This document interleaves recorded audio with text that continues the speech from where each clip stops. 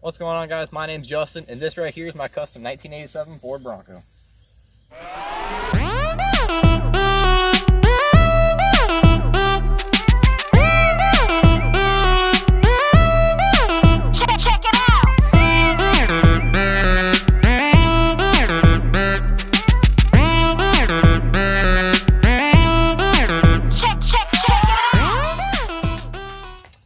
Guys, I figured I'd start off a new channel. I figured I'd go uh, off of the video with my very first truck I've ever owned and the very first over I've ever done. We got this truck in 2015 off my Uncle Jimmy and um, I redid it in high school. Uh, I went to Maple Career Center for auto collision and redid the whole thing.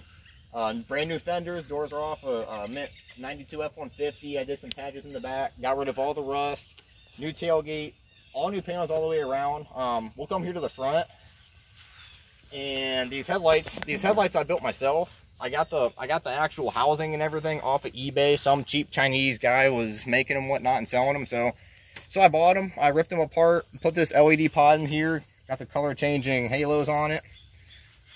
Turned out real great. They're they're bright enough but people aren't flashing me so they're not illegal ish um for the grill it's a 2014 f-150 grill I had to I had to custom fab. I had to trim it down on the sides. I had to make brackets to bolt up. I got a couple studs coming off the core support to bolt it up top.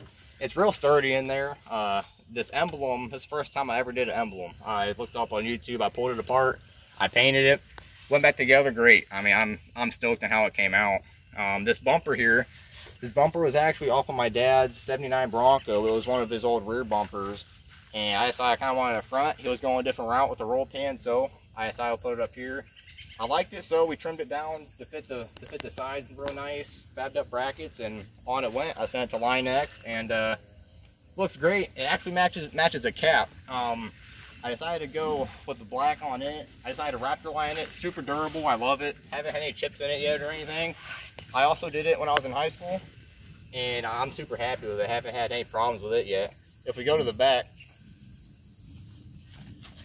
if we go to the back, we won't look at that little rust spot there. Just come on over here. we'll talk about that later. The back, I decided to go with the roll pan. Just a nice, nice sleek look. Tinted tail lights. It looks real good back here. Featuring the bad thing plate. Decided to, I don't got a name for it, but I decided to go with bad thing. Um, now this red, this red is actually a Chevy color. I used to work at a uh, at a Chevy dealership, and I seen this on a bunch of Silverados and a couple of other SUVs. And I originally wanted to do the ruby red, but it was so expensive. It was a tri-coat. It was like $1,700. And I was only a junior working part-time. Like, yeah, that's not going to fly. So I decided to go with this. It's just a, a two-step paint. It was just base clear instead of the tri-coat. So it's the closest thing I could find to the ruby red that Ford makes. But I'm still super happy with it. Nobody knows it's a Chevy color until I tell them. But it's rolling on a six inch lift. It's got a six inch Superlift on it. And it is on some 37, 13, 50, 20s. Got some 20 by 12 fuel Mavericks on there. And the lift, the lift is actually a pretty cool story. My dad had a uh, 94 F-150 when I was a kid. That was years ago. He ended up getting rid of it. I was beyond bummed. I love the thing. It had a nice six inch lift. It was red, kind of like this. And well, years later, three, four years ago, we got a hold of the guy. He actually straight straight axle swapped it.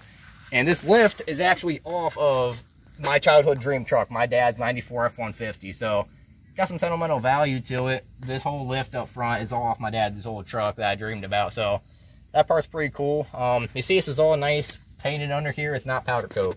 I painted everything under here, the tie rods, the shocks, the coils, the radius arm, the drive shaft under there. Everything's painted. I painted it all. Nothing is powdered on here.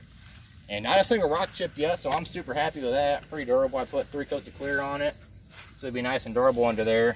And the frame, you see how shiny it is. That is literally just wire wheel, brush, and I prepped it all real good. I spray painted it and used actual car clear on it like I do out of my guns. And it looks great. I'm super happy with that too. I gotta do from I gotta do from here back on the whole frame and suspension in the rear, but you know, it's still work in progress. But um the rock lights under here, that's actually my, one of my first sponsors. Um, I got 16 Glow Pro LED lights under there. They're all pure white, and they light the road up. They are fantastic. I would recommend them to anybody. And if you look in here, got some drone inside of just from R1 Concepts. That's actually my second sponsor. they hooked me up and got this thing stopping on a diamond there. Looks real good in there too. Now the exhaust, it's true dual. I ended up going to a, uh, custom exhaust shop and ended up getting duals on both sides, dumping here in front of the tire. It's got a couple Flowmaster Super 40s on it. Now inside, nothing crazy. I just got I just got a new black carpet front and rear. I got some Pro Car Racing seats in there. And then if you look in the back, it's all new too. I ain't got any seat back there because you know you don't gotta have that. We don't have any friends, but no big deal. nice phone ringing. Whoopsie. But we'll start this thing up for you and see how loud it is. It's got a mild cam in it. It's got a 351 Windsor in it with a C6 to it. it sounds pretty good.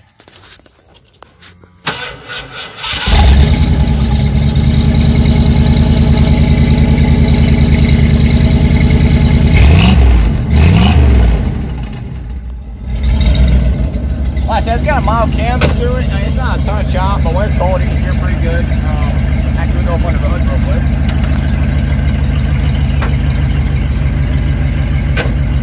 this came bone uh, stock 302 and the thing was an absolute dog. Nothing fancy under here, but it's got a 351 Windsor in it, like I said, got a mile cam. When the guy pointed a parts with a cam in it, he said everything was like eternally brand new, so I lucked out with that. So eternally brand new, thing runs like a top. I got both to do a C6 transmission. I went through like four AODs in this stupid thing, so the guy recommended that I put a C6 in it, and I did it about a year and a half ago, and not a problem since. So I made three, four hour trips with this thing, no problem. I mean, it eats up gas like no other because it gets like eight miles an hour. But I, I love this thing. Um, I plan on redoing it next year. Uh, back here, back here, like I said, I just patched it. Put a rust was on the wheel and actually cracked up a little bit there too. But I was a junior in high school. I didn't have all the money to replace every body panel because the quarters are like 600 a piece. But next year I plan on redoing it. New quarters. I'm gonna do a cowl hood. I already got a hood in the garage actually. But just I've done two more since this, actually three more overall. And I just I kind of can do so much better. I mean, just the quality. I, it's not horrible, but to my eyes, I can do so much better. But I mean, that, that's pretty much it. Got the basics of it. I'll throw in a night shot real quick to throw in the, uh, throw in to show how bright it is, but other than that, that's it. So I can show you guys the darkness of the rock lights real quick and right on back.